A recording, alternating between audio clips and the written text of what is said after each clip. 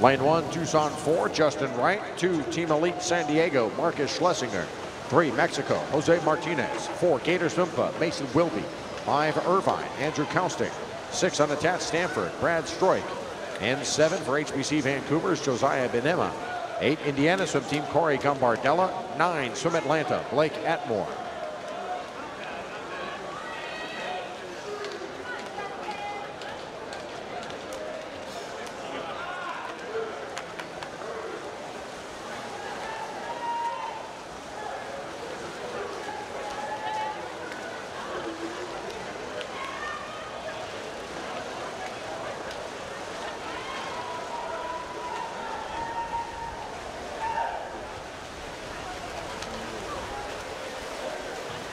Close race in the C final. The winning touch is a 54-79 for Josiah Binnema, lane seven.